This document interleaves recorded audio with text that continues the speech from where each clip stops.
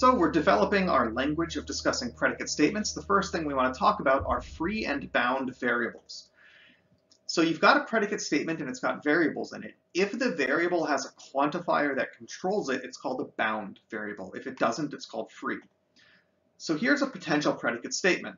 There exists an, uh, sorry, e of x implies there exists a y, so that p of y implies for every z, q of z or p of x. y and z are bound. This variable y is bound by this existential. And this variable z is bound by this universal quantifier. So these variables have been bound down by quantifiers. But x is a variable which is free. It has not been quantified.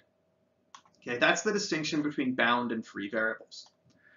If every single variable is bound, we call it a sentence. And it's actually now a, a statement about the underlying statements. So here we have a sentence. The variables are x and y. x has been bound by this existential quantifier, and y has been bound by this universal one. So every uh, variable has been bound, it's a sentence, and this is a statement about for which constants is the underlying statement true. Does there exist an x? So that if p of x is true, then for every choice of y, q of y is true. It's not making a claim about what specific constants this becomes true for, but rather a statement that does there exist such a choice at all, so that if this hypothesis is true, then for every choice of constant y, this conclusion becomes true. A statement with free variables, however, can't really be evaluated as true and false until those free variables are either replaced with constants or bound. So up here, e of x, well, x is a free variable, so I can't evaluate this as true or not until I choose which x I want to plug in, or I come back and I quantify it and bind it. Okay, now let's talk about what are called terms. Variables and constants are called terms. They're just the things that you can put into a predicate statement. Once you plug a constant into a predicate statement, it becomes like a very explicit statement that you can evaluate as true or false. 2 is bigger than 3. False. 8 is bigger than 1. True. X is bigger than 4 is not really a statement yet, but it is an allowable use of a variable, and it's something we're going to be considering. Anything you can plug in, variables or constants, are called terms. There might be some other things that you're allowed to plug in and you call them terms. So for example, suppose the domain of discourse is positive integers and E of n represents the number n is even. So you could say something like x is even, y is even, z is even. I don't know if those are true or false until I make a choice, like 3 is even, false, 6 is even, true, 11 is even, false, but at least now they're statements. Okay, so these are all statements. I can't evaluate them as true or false until I plug in a specific constant, but they are a predicate statement. And these are things I can actually explicitly uh, check out. But you could also do something like is 2 plus 3 even? Now 2 plus 3 is not exactly a constant. 5 is a constant, but 2 plus 3 is some sort of weird expression involving constants. Is x squared plus y even? Is 2 to the y even? These aren't quite constants and they're not exactly variables, but they're some sort of expression involving constants, variables, or both that do make sense. And we're not going to be too explicit about these definitions, just saying that terms are things that it makes sense to plug into your predicate statements.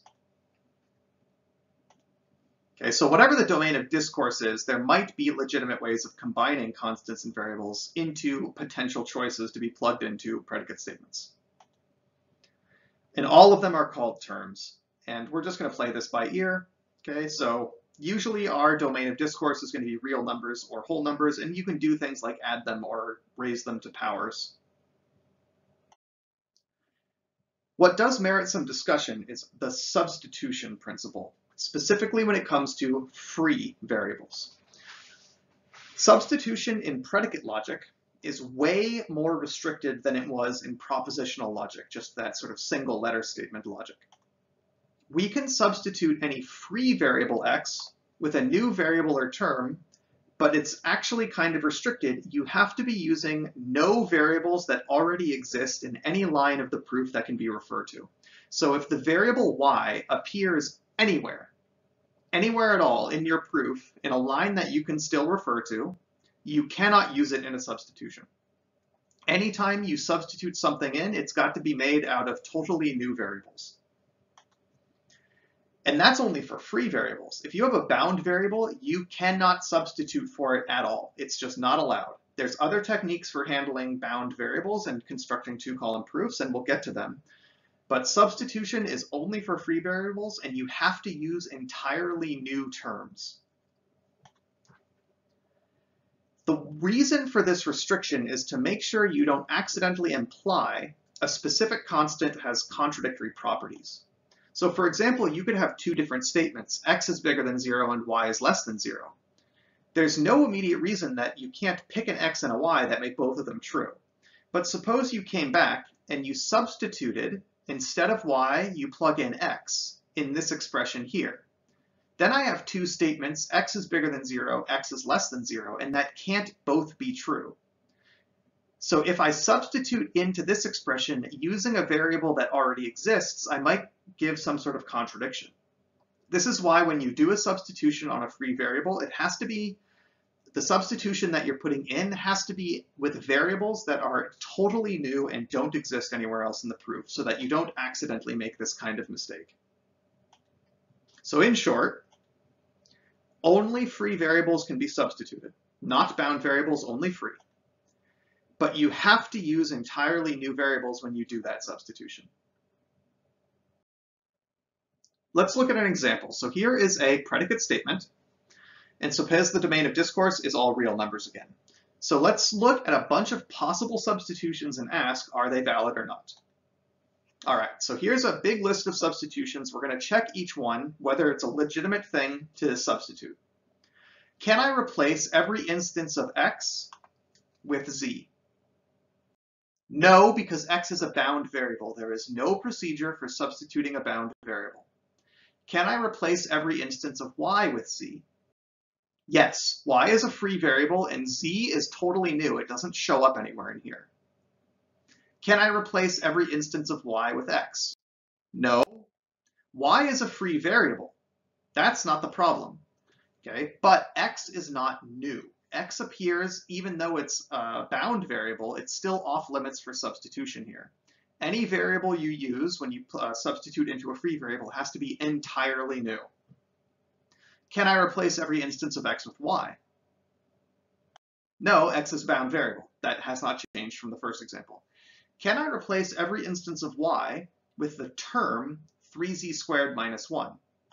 Yes, y is a free variable, and 3z squared only involves the constant z, oh, sorry, the variable z, which is entirely new. Can I replace every instance of y with 2 comma 3 comma e to the y?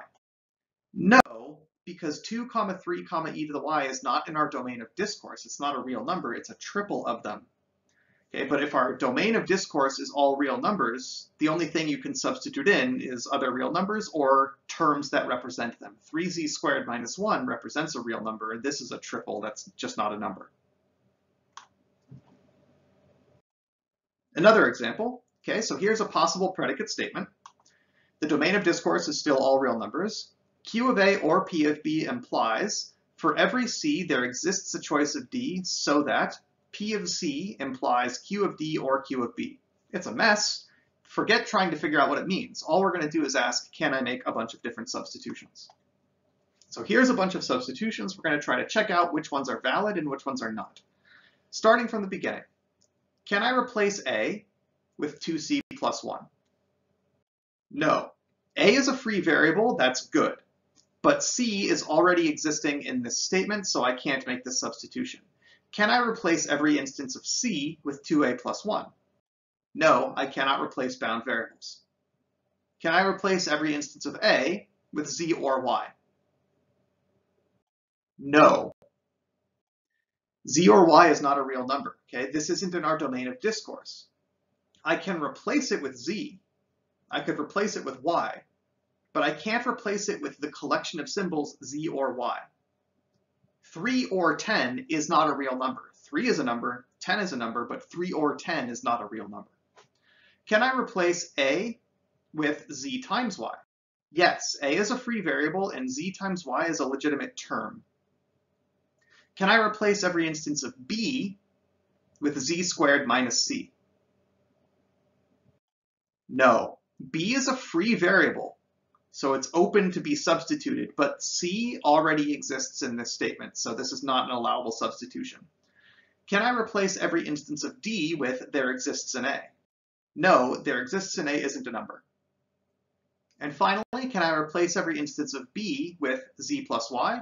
Absolutely, b is a free variable, z plus y is a real number once you make a specific choice of constants. This is a legitimate term, so this one's fine.